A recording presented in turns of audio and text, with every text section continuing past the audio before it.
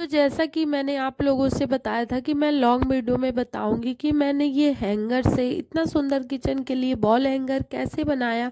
तो चलिए शुरू करते सबसे पहले यहाँ पर मैंने एक कार्डबोर्ड लिया था। उसे मैंने हैंगर की शेप में कटिंग कर ली थी, नाप कर। फिर मैंने इसे कैची से कटिंग की थी और ऐसे शेप में निकाल लिया था।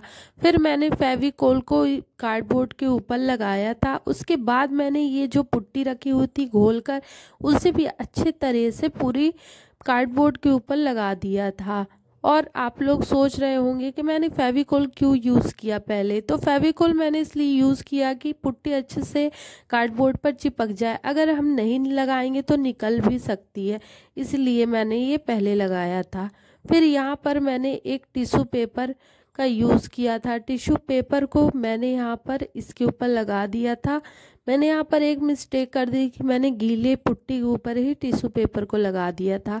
ऐसा नहीं करना है। इसके सूखने के बाद ही इसे लगाना है और फिर इसे अच्छे से कवर कर देना है। यहाँ पर मैंने कार्डबोर्ड को ऐसे छोटे शेप में कटिंग कर ली थी, एकदम बराबर शेप में, ताकि ये ऊपर नीचे टेढ़े मेढ़े ना दिखे।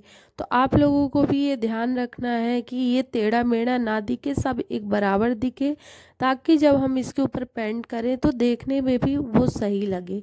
तो यहाँ पर मैंने ये स्टेप बाय स्टेप करके सबको ऐसे लगा दिया है। बाद मैंने यहाँ पर एक क्रेलिक पेंट का यूज़ किया है ब्राउन कलर का। तो आप लोग भी किसी चीज़ में अगर पेंट कर रहे हो तो एक क्रेलिक पेंट का ही यूज़ करो वो सही रहता है। इसके बाद यहाँ पर मैंने पुट्टी का डो बना लिया था। पुट्टी का डो बनाने के बाद यहाँ पर मैं स्पून और स्पैचुला वगैरह बना रही हूँ। तो यहाँ पर आप लोग अगर कुछ भी चीज़ बना रहे हो तो एक बात का ध्यान रखो। थोड़ा थोड़ा इस पर पानी भी लगाते जाओ। ताकि ये सॉफ्ट रहे और कुछ भी चीज़ बनाने पर बनाने पर अच्छी तरह से बन जाए सेप में आ जाए। अगर पानी नहीं लगाते हैं तो ये एकदम हार्ड हो जाएगा और ये और बनाने पे बनेगा नहीं, इसलिए हम थोड़ा थोड़ा इसमें पानी का भी यूज़ करते जाएँगे। तो यहाँ पर मैं हैंगर बना रही थी, थोड़ा हैंगर का लुक दे रही थी तो यहाँ पर थोड़ा थोड़ा पानी लगाकर इसे बनाते जा रही थी और यहाँ पर मेरे साथ फिर से गलती हो गई थी कि मैं इसे निकाल कर ऊपर की तरफ़ लगाकर ये सब सारी चीज़ों को उसमें अटैच कर दी थी। और जब ये सूख गया था तो सूखने के बाद जब मैं इसे निकालने की कोशिश करी तो ये सारे सब टूट के ख़राब हो गए।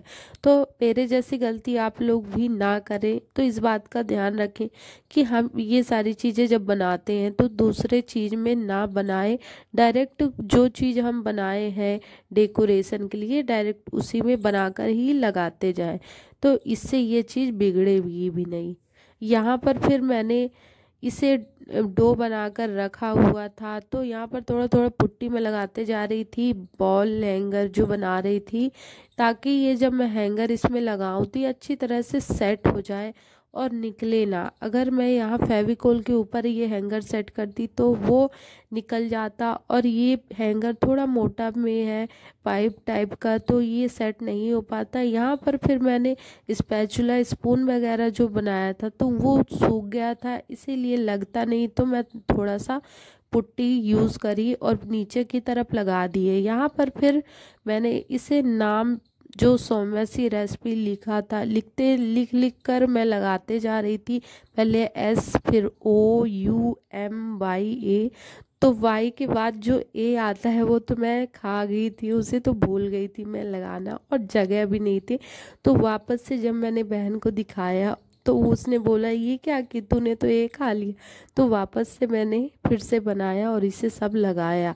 यहाँ पर फिर मैं एक्रेलिक पेंट वाइट कलर का यूज़ कर रही थी। वाइट कलर का एक्रेलिक पेंट किया था ताकि थोड़ा सा और ये निखार आ जाए। तो आप लोग यहाँ ध्यान रखिएगा कि पुट्टी गीली रहे तब वाइट पेंट नहीं करना है, कलर नहीं करना है, सूखने के बाद ही कलर करना है। इसके बाद मेरे पास जो मोटा वाला टेप आता है, उससे मैं ये सारी चीज़ें कवर कर दी थी ताकि इसमें डस्ट या धूल ना बैठे। इसके बाद ये बनकर एकदम रेडी हो जाता है।